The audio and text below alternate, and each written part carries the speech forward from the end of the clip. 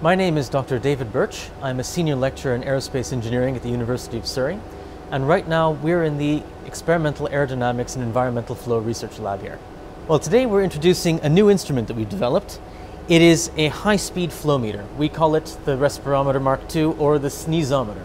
This, as we understand it, is the fastest and most accurate flow meter in the world.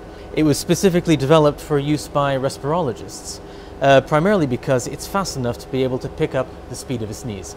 This is a project that came about entirely by accident.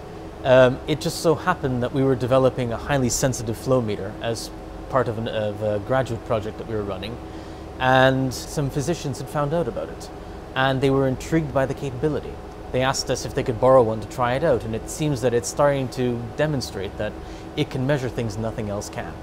And it's allowing them to now diagnose diseases that they didn't even know they would be able to diagnose before. This device was produced using our 3D printer, manufactured in 30 micron layers, so very, very thin slices, one on top of the other.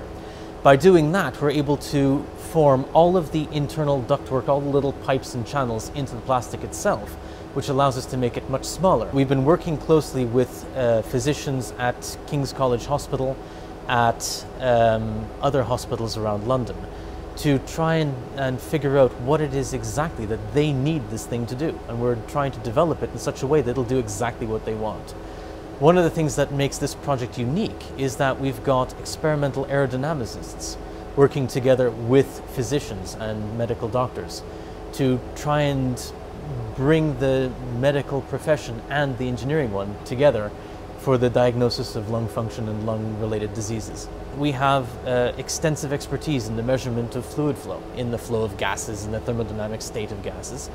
And it's exciting to see that the physicians can put this measurement capability to use in the diagnosis of disorders and diseases.